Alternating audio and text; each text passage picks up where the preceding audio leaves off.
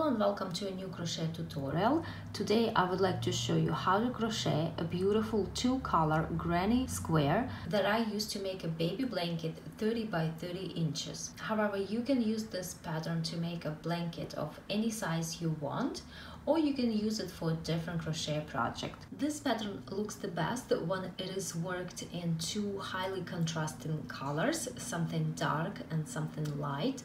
However, for the purpose of my tutorial, I will use two lighter color yarns because it is very difficult to see the stitches on a dark yarn. I want to thank my viewer Juanita from Fresno, California, who sent me this beautiful yarn. Here is the yarn that I used for the blanket, Feels Like Butta. This one is in color teal. I used two skeins and three skeins of color yellow. I will work with a hook size F 3.75 millimeters. And for this pattern I will need a stitch marker like this the one that locks. And if you don't have a stitch marker like this one you can use a safety pin. I start with a magic ring. Now if you have difficulties making magic ring here is how I make mine. I simply start tying a knot like this but I don't finish it completely. Instead, I put it over my fingers like this and then I simply crochet inside this knot.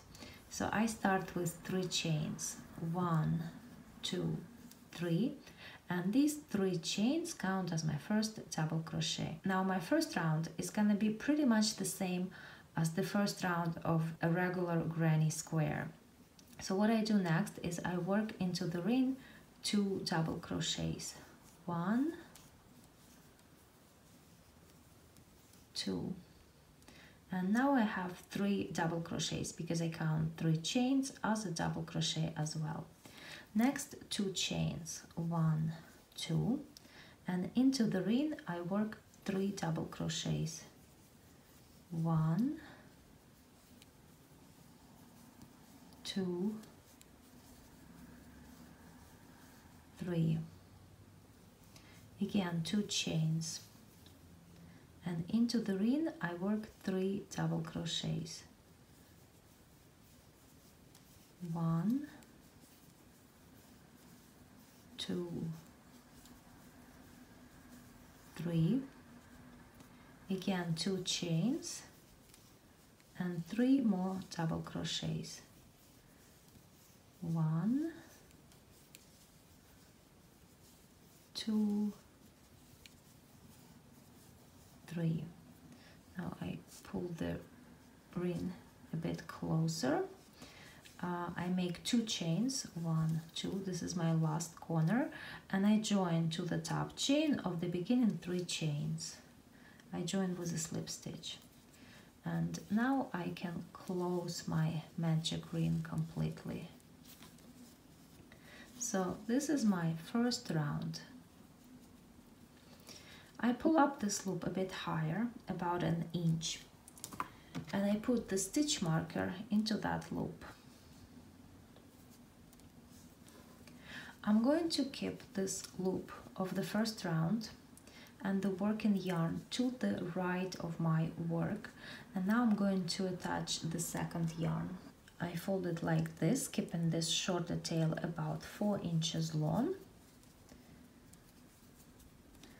and I'm going to attach this second yarn into the space between these first three chains and the next double crochet. So right there this is where I insert the hook and pull up this loop of the second color and I make a chain.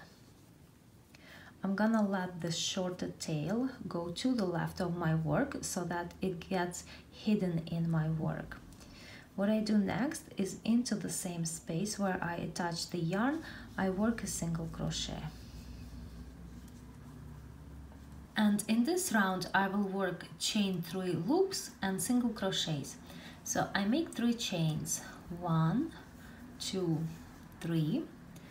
And over here, I have two double crochets. I'm going to make a single crochet into the space between them. Now again, three chains. One, two, three. Here is the next group of three double crochets and into the space between these two double crochets I work a single crochet.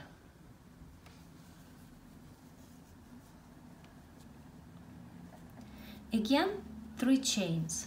One, two, three. Over here I have two double crochets and into the space between them I work a single crochet. And that's how I continue crocheting all the way around. Three chains and a single crochet into the space between the first and the second double crochets of the next group of three double crochets then three chains and a single crochet into the space between the second and the third double crochet of the same group of three double crochets. Again three chains and a single crochet in between these two double crochets. Three chains and a single crochet in between these two double crochets. And now three chains when I started crocheting this round I kept this loop to the right of my work however at the end I'm gonna keep it to the left like this and I join with a slip stitch to the first single crochet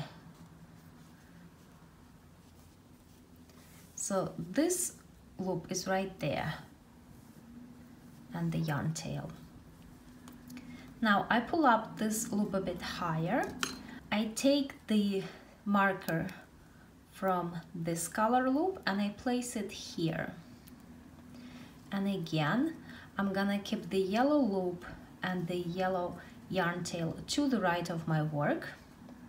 And I will continue crocheting with this yarn again.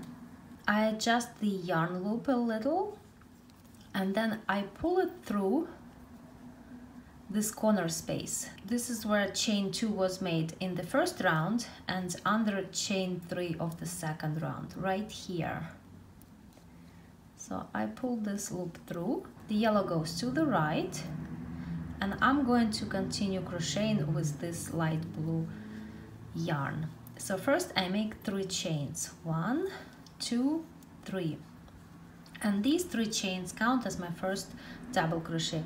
And into the same space right here I work two more double crochets. One and two. Next one chain.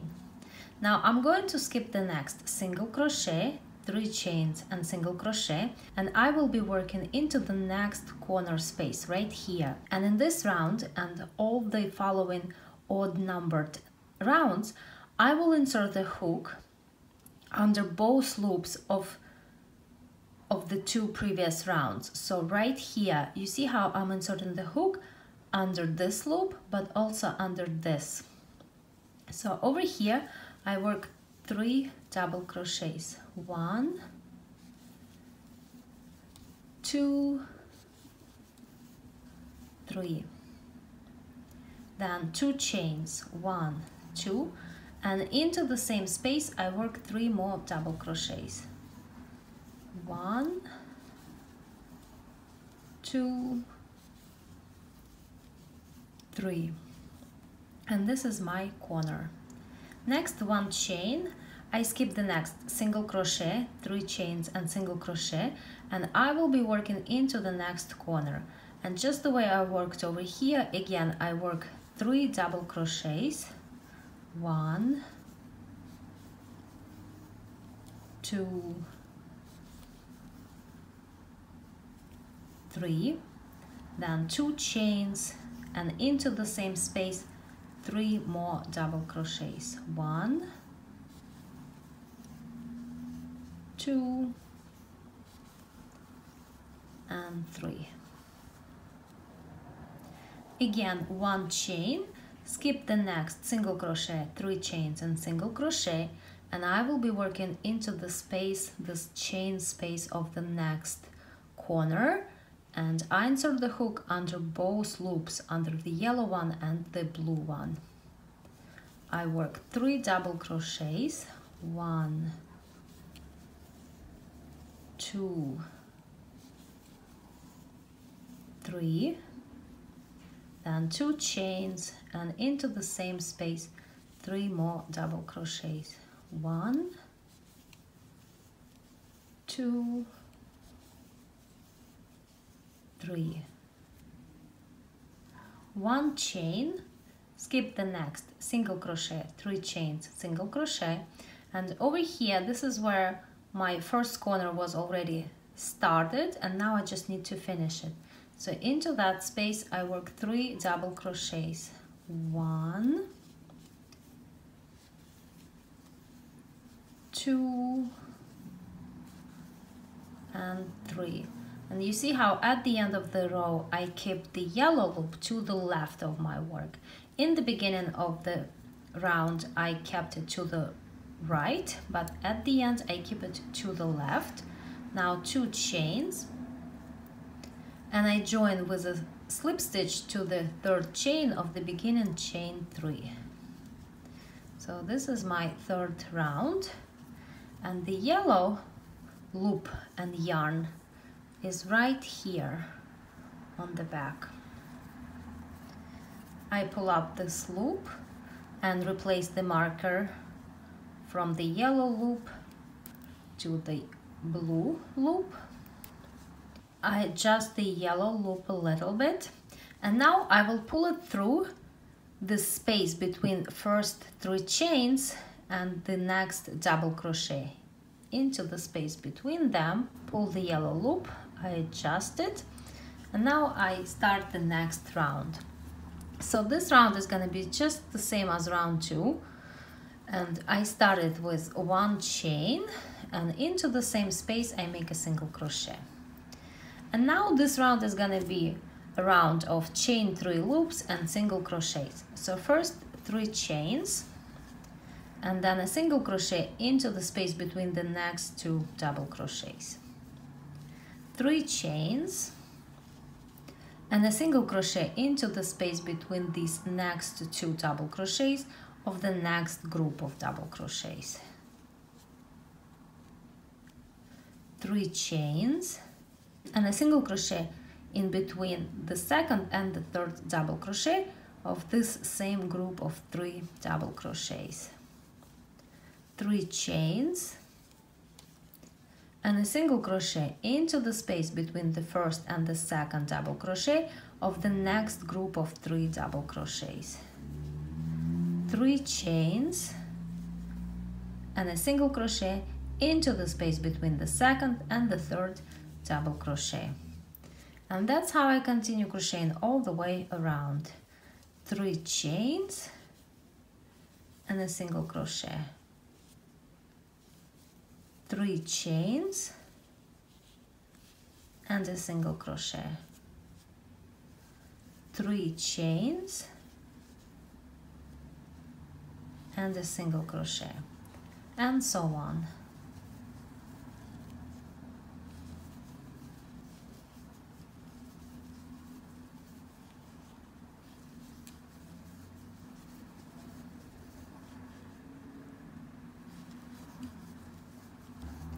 At the end of the round, I keep the blue loop and the blue yarn tail to the left of my work.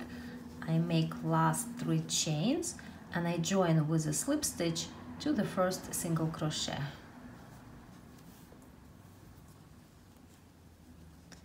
I pull up the loop and replace the stitch marker.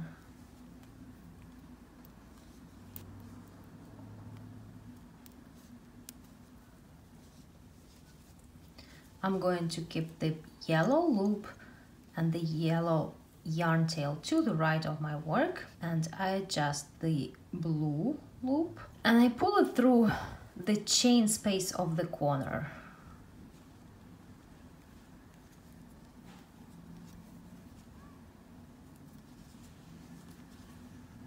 And now I can start crocheting the next round. I start with three chains. And into the same corner space I work two double crochets.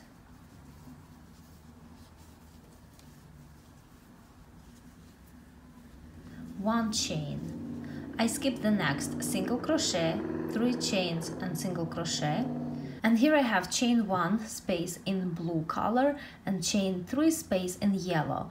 I will be inserting the hook under both of those loops and that's how every odd numbered round is gonna be work. You need to insert the hook under both loops of the two previous rounds.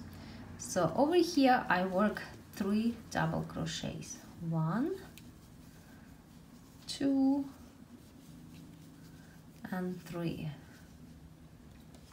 One chain. I skip the next. Single crochet three chains and single crochet.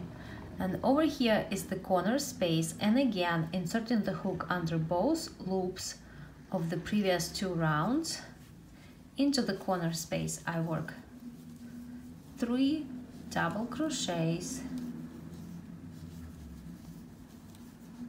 then two chains and three double crochets.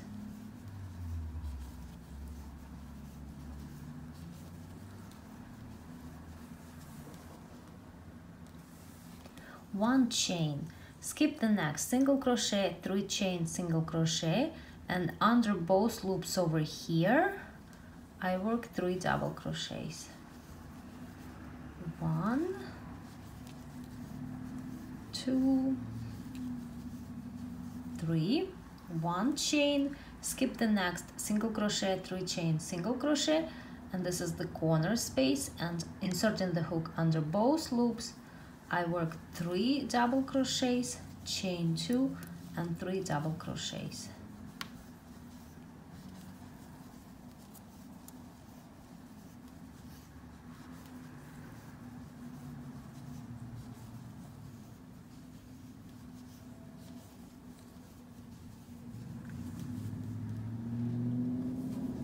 and that's how I continue crocheting this round.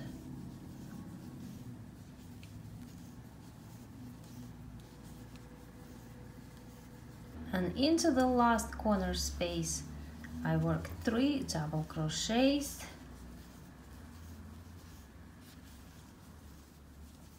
Then two chains.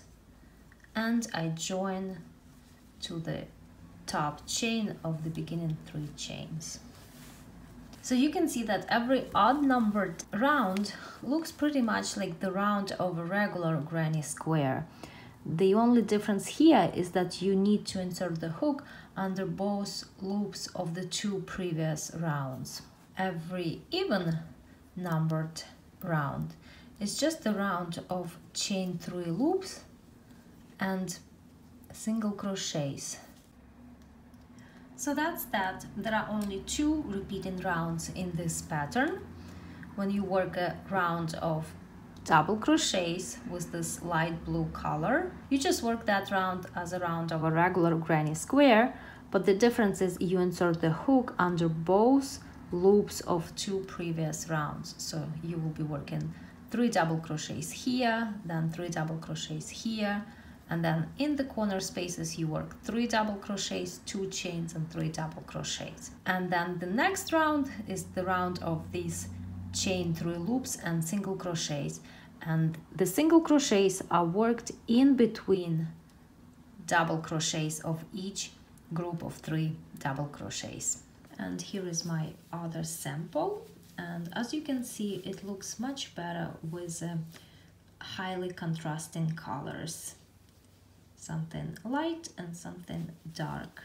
Now to make this blanket, I continued crocheting my square until I ran out of the yellow yarn. And remember I used three skeins so it was 29 inches along the side of the square. I finished with a round of double crochets these three groups of double crochets and chain one spaces in between them.